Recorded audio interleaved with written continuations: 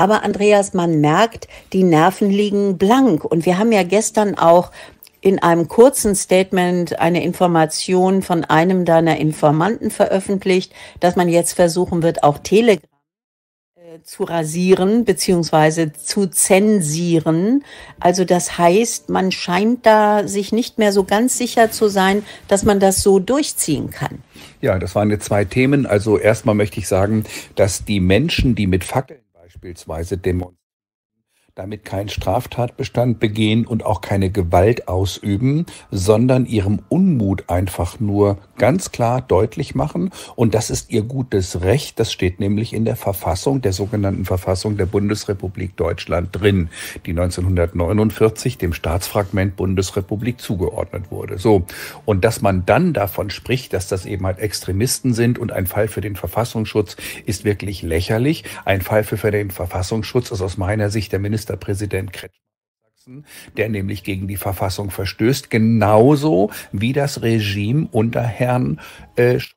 Herr Scholz übrigens hat sich selbst als Regime bezeichnet, die Regierung. Also nicht, dass das von mir eine diffamierende Vokabel ist. Das heißt, das Regime in Berlin ist ein Fall für den Verfassungsschutz und jeder, der ein bisschen gerade ausdenken kann, der erkennt das auch sofort, weil das Grundgesetz eben halt überhaupt keine Rolle mehr spielt. So, zu Telegram.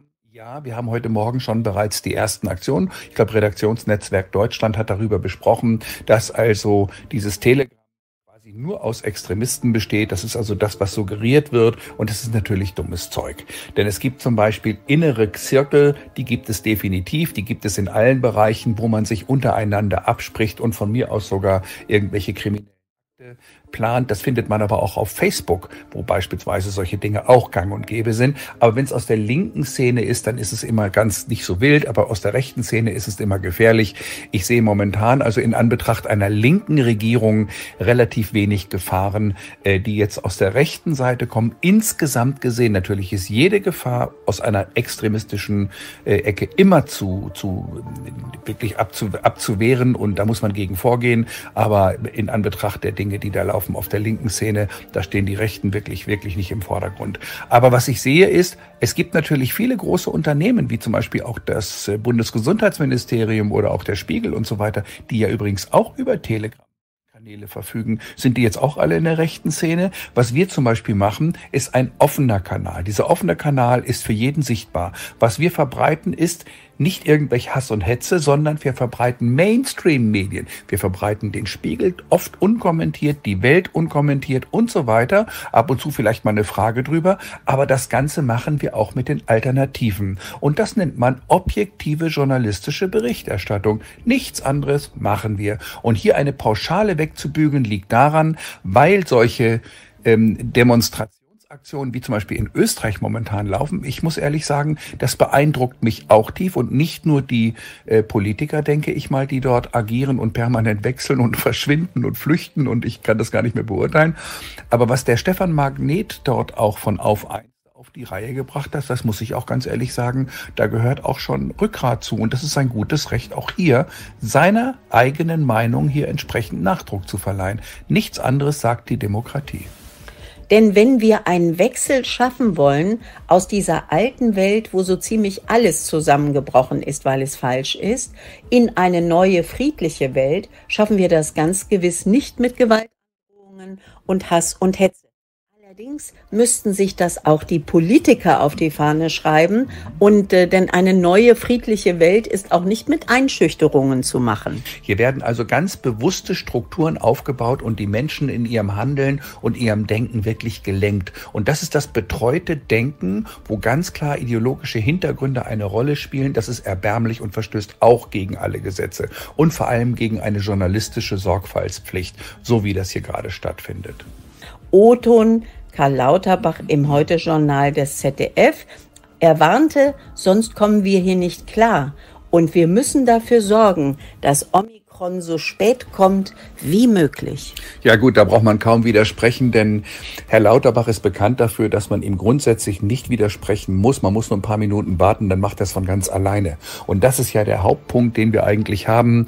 Herr Tichy hat ihn wunderbar kommentiert. Da stand dann drin vom Loser zum Bundesgesundheitsminister. Das sind Tichys Worte. Ich habe das nur zur Kenntnis genommen und ich muss ganz ehrlich sagen, dass diese Krawallmachung, für die ja Herr Lauterbach bekannt ist, der ja eigentlich nur durch die Talkshows getingelt ist und offenbar bleibt es uns auch nicht erspart, dass er das weiter tun wird.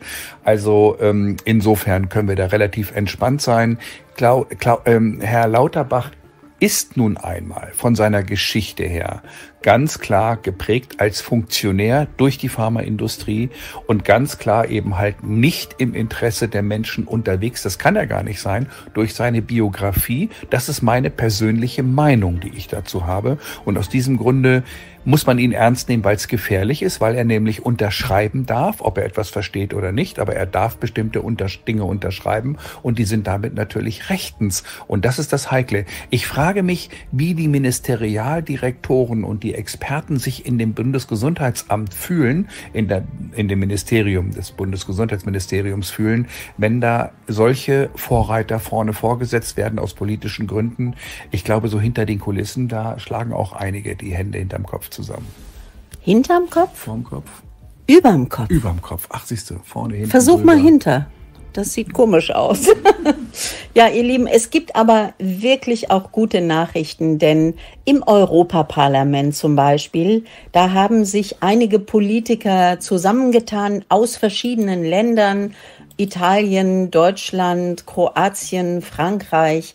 Und die stellen sich regelmäßig vor die Presse, auch jetzt gerade wieder. Da haben die äh, Mitglieder des Europaparlaments mehr oder weniger der Pflicht den Kampf angesagt. Das zeigt, dass es nur eine Minderheit von Abgeordneten gibt, die wirklich für europäische Werte eintreten. Die Mehrheit der Abgeordneten unterstützt aus mir unbekannten Gründen offensichtlich die Unterdrückung des Volkes und behauptet schamlos, dies zum Wohle des Volkes zu tun. Aber es ist nicht das Ziel, das ein System unterdrückerisch macht, es sind immer die Methoden, mit denen das Ziel verfolgt wird. Ja, das sehen wir sehr deutlich ja alleine schon in Deutschland, wenn wir uns gestern angesehen haben, dass dort verabschiedet wurde mit dem Ministerpräsidenten ähm, äh, und mit, äh, vor dem Bundestag mit einer Mehrheit eben halt dieses Infektions zu verschärfen und das nur, ich glaube, 80 dagegen und 35 sich enthalten hatten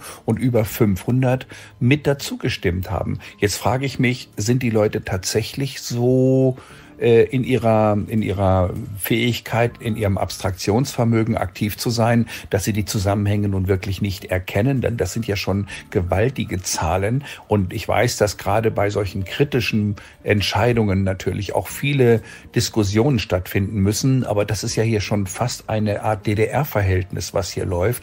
Und das erinnert stark an diese sozialistischen Strukturen. Und man muss immer fragen, was wird diesen Abgeordneten eigentlich versprochen oder womit man bedroht man sie eigentlich, wenn sie nicht zustimmen? Und das scheint so der Hauptpunkt zu sein, dass wir immer mehr in diesen Totalitarismus reinkommen und die freie Meinungsäußerung und auch die freie Entscheidungsfähigkeiten eben halt äußerst kritisch sind. Und deshalb kommen auch immer wieder viele, dass sie sagen, gut, okay, die meisten wissen gar nicht, wie die EU aufgebaut ist. Und ich weiß nicht, ähm, gerade auch die, der Europäische Gerichtshof, das ist ja momentan das, was ich momentan viel erfahre. Das sind eben halt die Fragen, dass die Leute sagen, gibt es jetzt eigentlich sogar ein Verbot vom Europäischen Gerichtshof?